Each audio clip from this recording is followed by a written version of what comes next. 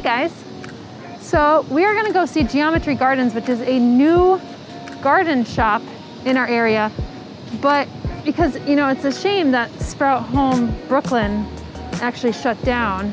But one of the original co-owners of Sprout Home Brooklyn actually opened up Geometry Gardens, which is where Sprout Home Brooklyn actually started in this little area. So we're gonna see what their shop looks like and what they have in store. So let's go.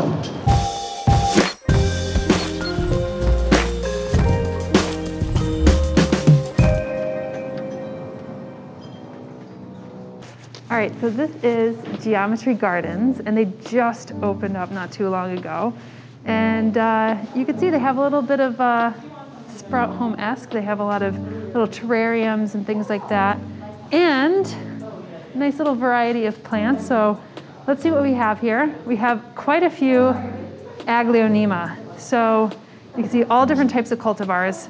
I'm not going to remember every single one of these, but they have these that are a little bit more red. And then you have some spotted pink ones, right? And then you have the re regular silver stripes.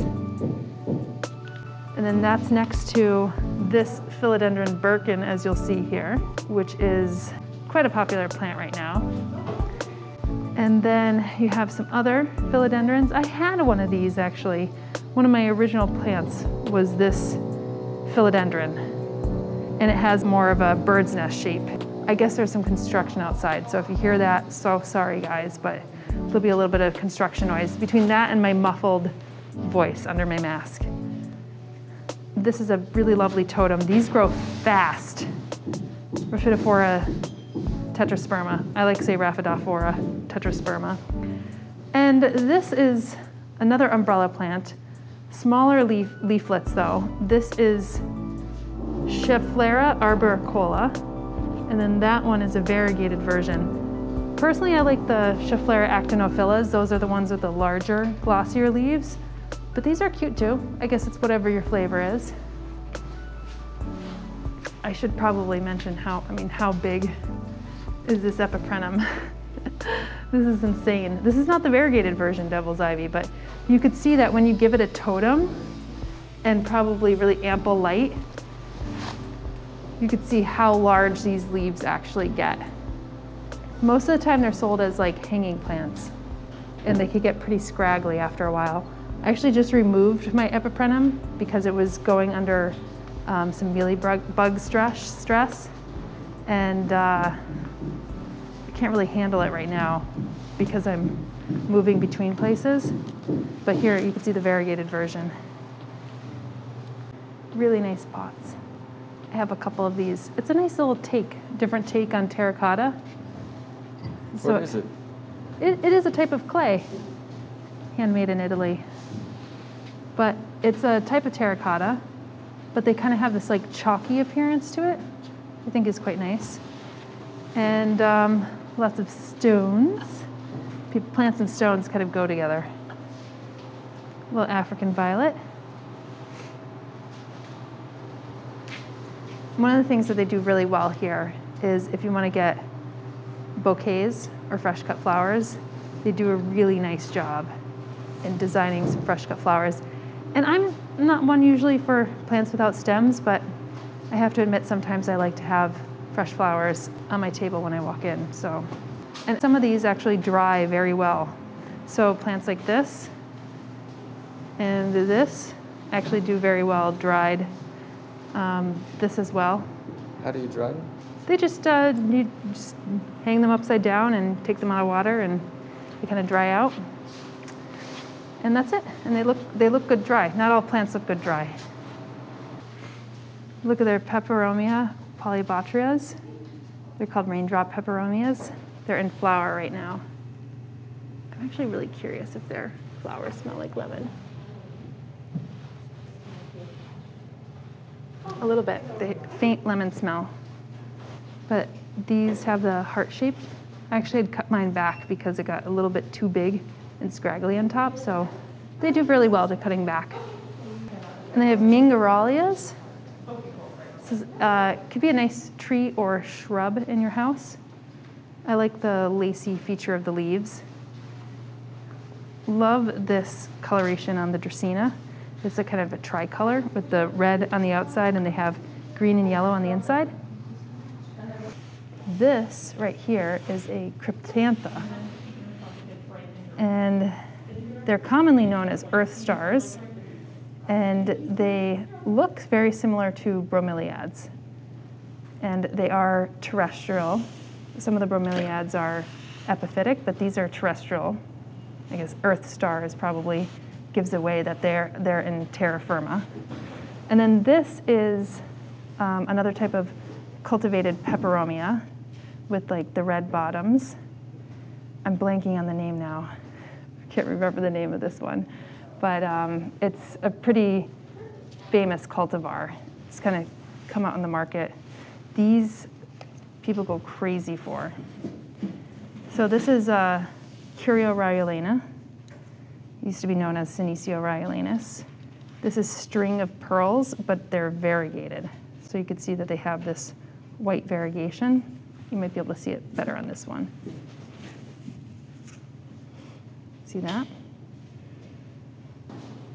This is Hoya retusa. It's a really nice specimen. Mine has not, no, mine has flowered actually, but it didn't flower profusely. And uh, I really like this one. It's called grass-leaved aloe, obviously for because it has a more grassy leaves. Very unusual for Hoya because you usually have um, Hoya with just like elliptical leaves. Got a lot of hanging plants here. So this is Ceropegia woodii. This is string of hearts. Um, very prolific plant. Uh, and then you have the string of bananas, almost looks like, this looked almost like a dolphin when we were together. String of bananas. And then this is a string of pickles, but it's not related to string of bananas. These are all like string ofs, but they're not related to one another. This is related to this. They're both curios. This one and this one. The string of beads this is a non-variegated version, and the string of bananas are curios. So this is a Curio rowleyanus, and this is Curio radicans. And then take a look at this Hoya, Hoya on a stick. That's a nice, I think this is a Hoya pubicalyx. So you have this is Disocactus anguliger. It used to be known as uh, Epiphyllum anguliger. So that's a nice epiphyllum. And this is uh, a rat tail cactus. I think it's um, it may be a Disocactus flagelliformis. I can't remember what genus it is in now, but. And you have a nice collection of Tillandsia here. These are all the air plants. Every time I come home, I'm on a two week schedule of soaking them. So I'm usually two weeks on in Brooklyn and two weeks off going upstate. And so I kind of know that I'm in a two week schedule with my tillandsia, but I like to soak them and then let them dry them out really quickly. Sometimes I put a fan on them. And then I, uh, you know, from there, leave them for two weeks. And then when I'm back, I soak them again. You got to get on a different schedule for those in order for them to, to survive because I've been on a, a non schedule with my tillandsia and they end up going Ruby Cascade. I couldn't remember. That's what it's called. So one of the plants that didn't survive my time away, is dry for too long, is the Fittonia. And the Fittonia handled me being away for a little while, but I unfortunately lost my Fittonia from traveling. If they're not moist, they will start to look a little bit like your spathiphyllum, your peace lily. It'll just kind of hang over. So, and it'll be fine for a while, but if you don't catch it, it's just going to never come back. So it is a bit of a diva, but not so much in the sense that they are actually quite resilient. You just can't let them go for too long. Here's another one. This is, um, they usually call this Calathea rufibarba, but I think it's a Goeppertia now. And uh, they have these like fuzzy leaves with purple under, on the underside. It feels like little kitties and they get yellow flowers all at the base of the plant Obviously, this one's not in flower, but it's a cute one. And then, of course, you have the Marantas in the back, which are in the same family of plants. So you have a Maranta, you have a Goeppertia, also a Goeppertia right here. Um, this is, uh, I think, Goeppertia insignis. And then you have a Stromanthe. And these are all, like I said, in the same family.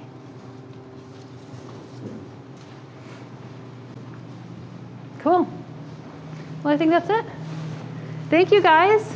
Yeah, no problem. Really appreciate it. Sorry about the construction noise and everything. Oh, no, I mean, it's all part of Brooklyn, right? It, it comes with the territory. Uh, what do you think you're going to do for the outside in the spring?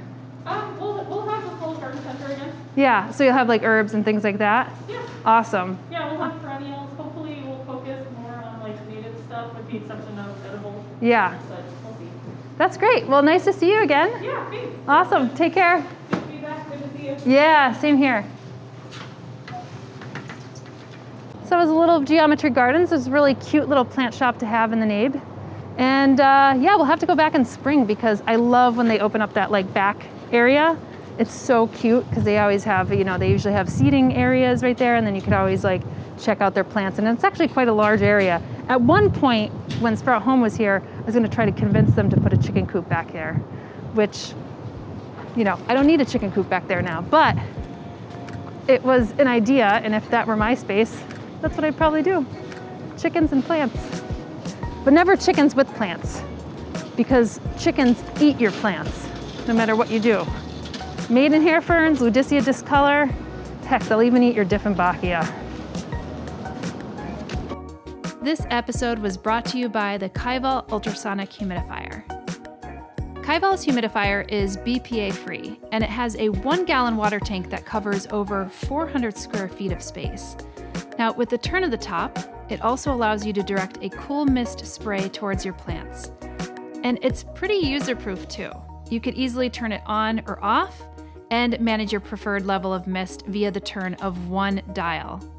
What's nice about this is its slimmer body shape, which allows you to place it in some smaller areas of your home or your apartment, and it's super quiet, coming in at about 26 decibels.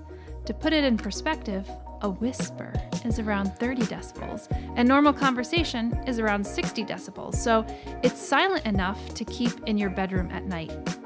And getting a humidifier like this is not just a plus for your plants, but it can also be a plus for you too, especially when our homes become too dry, particularly in the winter months or when we have our heating units on. Now, I know for me that if it gets too dry, I'll wake up with dry skin, a parched mouth, and even sometimes a bloody nose, and that's all due to air dryness. So, you want to keep your home at least a little humid. The units come in both white and gray, so you could find the best look for your space. And if you're interested in checking out the humidifier, you can click on my Amazon affiliate link for more information in the description below. Stay tuned for more plant shop tours around Brooklyn in the next episodes. And we've recently launched a new YouTube channel on our homestead in upstate New York over at Flock Finger Lakes. So if you haven't yet, go check it out. Channel link is here and in the description below.